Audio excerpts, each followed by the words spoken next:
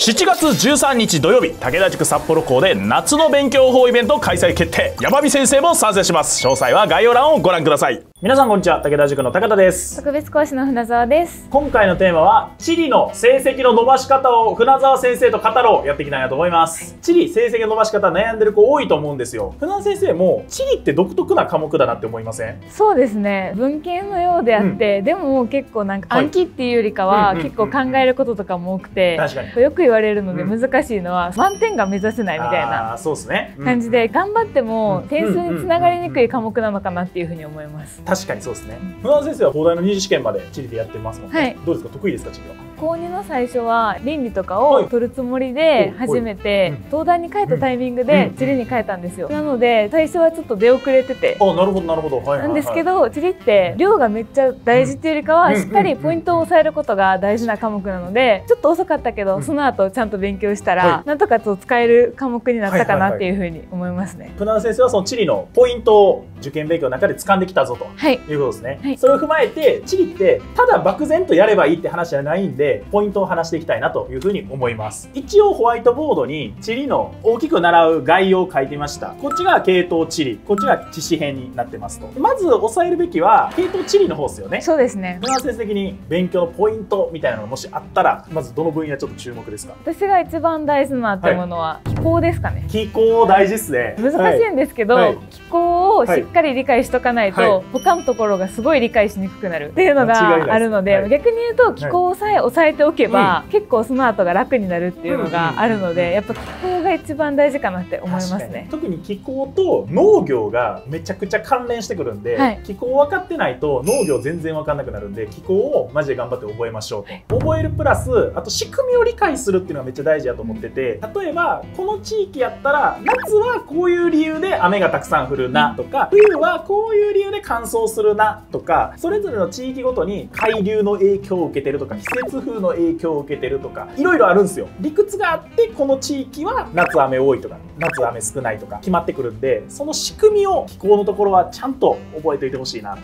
思いますね。気候と農業の関係に似てるので言うと、はい。地形と工業が似てると思うんですよ。ああそうですね。新規造山帯の近くで石油が取れるとか、古規造山帯の方で石炭が取れるとか地形の新しい古いとかで取れる鉱物が決まってくるんでその近くで工業が発展するんで地形エネルギー鉱産資源工業この3つはめちゃくちゃ密に関係してるんで工業とか勉強してる時もここではこういうものが取れるからこういう工業ができるんだな。ここでこういうものが取れる理由っていうのはこういう地形やからなんやなっていうのを全部セットで理解しておくと地理はめちゃくちゃ強いなというふうに思いますね。そうですね。逆にそれができないと、問題によってはそんな国聞いたこともないぞみたいな地図だけバンって出されて、この国のこの気候はどうでしょうとか、うんうん農業はどうでしょうみたいなのが出てくるんですけど、そんなん覚えてるわけないじゃないですか。覚えてるわけない。だからそういうのが出てきた時に仕組みを理解せずに暗記だけで頑張ってたら絶対解けないのでそういう意味でも仕組み理解するのすごく大事かなと思います。そうですね。地形とか気候とかはなぜそうなるのかとかに注目してちゃんとその参考書とかを呼び込んでいってほしいなと思います。おすすめは村瀬のゼロからわかる地理っていう本があって村瀬先生もそれ好きなん大好きです。推しポイントは、はい。つながりが分かりやすいっていうのがあるかなと思ってて、うんうん。結構教科書だとうん。各単元ごとうん分野ごとにこう分断されて、はい。それぞれのことについて書いてある書いてあるうん書いてあるみたいな感じなんですけど村瀬先生の参考書は各単元が横断的につながって書かれててうんであと私のもう一つ推しポイントは見た目がいいんですよめちゃめちゃ。図とかが可愛いんですよね。目に優しい感じの色が使ってあって。クレパスで描いたような、はい。なんか絵とかありますよね。そうですね、そういうなんか映画ちょっとおしゃれな感じなんですよ、あおしゃれかもしれないです。ね確かに。あの教科書とか参考書とかに比べてうん。ちょっとおしゃれだから気分上がるかなみたいな。なるほどなるほど。写真とかも結構多くてこういう地形ってあこんな写真だったんだみたいな。写真で見て初めて分かったよみたいなね。こととかもあると思うんで村瀬おすすめですしかも村瀬はそういう流れがちゃんと分かるように書かれてるのでそこをちゃんと丁寧に読み解いていってくださいと。系統地理の後半人口とか都市とか商業観光とか交通貿易とかこの辺もよく出ますけどどんな印象ですか船川先生？最初系統治療をやるときはい。に固めきってしまう？はい。っていうよりかは知識の方をやりながらうん。覚えていく。っていいうのが割と私はそうしてたかなっていう感じがあります。ここだけで完結する話でもないというそうですね。人口とかはピラミッドの形が分類されたりっていうのがあるので、都市とか交通とか、あと民族のあたりとかは都市でやりながら覚えていくっていうのが早いんじゃないかなと思いますね。具体的な国と関連付けてやっていきましょうと。都市結構複雑ですけど、まあ理解大事なところですけど頑張ってやっていってほしいですね。そうですね。系統地理最後のあの国家民族のところがめちゃめちゃおそらく苦労する部分だなと思ってて、国家民族に関しては結構暗記が大事になってきますと。各国の言語とか宗教とか、まあ、世界史勉強してる人やったら比較的楽かもしれないですけど、地理だけ使う人は、この国はこういう宗教でこういう言語を話すとか、暗記で覚えていかないといけない部分があったりするんで、そ、ねはい、そこはちょっと頑張ってくださいと。まあ、これも本当に知識とセットで覚えていってほしいですね。暗記する時のポイントとしては、はい、民族と宗教って結構かぶってる部分が多くて、何民族は何教みたいな覚え方ができるところが多いんですけど、厄介なのがそれに当てはまらないところそうですねっていうのが結構あって、ただその一回大体こんな感じっていうのを覚えた上で例題だけもう頭に叩き込むみたいなのが一番効率よく覚えられるんじゃないかなと思います。まあベースはありますからね。はい、中東だったらイスラム教が多いよみたいな、いくつか宗派があってシーア派は少数派だよとかいくつかあるんで知識の方を見ていきましょうか。はい。船沢先生が苦労した知識ランキングとかもし作れたら教えてほしいなと思うんですけど。苦労したとこで言うと、はい、アフリカは自分にとって馴染みがないところって結構イメージがしにくいっていうのがあるので結構苦労したかなっていうのはあります。とかもねややこしいですしね、はい、どこからが砂漠でどこからがなんかサバンナでとかなんかね、はい、意外とアフリカの熱帯多いなとか言語もね入り組んできますし、ね、そうですね。宗教も違いますし、はい、入試に出やすそうなところで言うと、ヨーロッパとかは結構その国が多いし民族も多いし。確かにっていうので入り混じってるっていうのとか、ね、あとはまあ国の多さでいうと、はい、結構東南アジアとか東南アジア出ました。あたりも結構なんか覚えるの大変だったなっていう記憶はありますね、東南アジアって地理のまあまあな難しいポイントだと思うんですけど、はい、何が難しいって宗教がぐちゃぐちゃなんですよ。国ごとに宗教も言語もバラバラなんですよ。ベトナムとかやったら例えば大乗仏教、うん、仏教がね多いんですけどマレーシアとかはイスラム教なんです。インドネシアもイスラム教なんです、フィリピンはインドネシアと近いんだけどキリスト教なんですよ。東南アジアはとにかくいろんな宗教が入り組んでてめちゃめちゃややこしいと。世界史とか勉強してたら植民地支配の歴史とかでいけたりもするらしいんですけど、ね、地理だけやる人は結構ここで暗記苦戦するかなと思います、はい、あとヨーロッパもめちゃめちゃややこしくて自分がヨーロッパで嫌いなのは、はい、EU に関連することってめっちゃ入試で出るんですよ。どの国がユーロを導入してるしてないとか、うん、EU に加盟した歴史とか EU の中で決まってるルールについてとかその辺もめちゃくちゃ出るんでそこもちゃんと歴史を追って順に抑えていってもらえるといいなというふうに思います。歴史を避けて地理に来たのに、うん、結局歴史会みたいな感じに、そうすね、思っちゃうかなと思うんですけど、これはもう覚えるしかない